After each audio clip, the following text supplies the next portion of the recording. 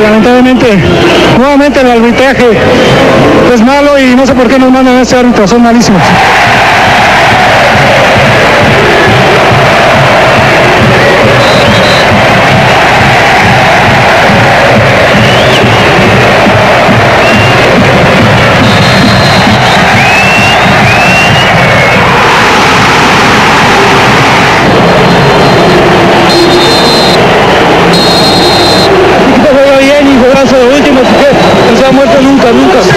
Van a levantar en hombros a Aquivaldo Mosquera.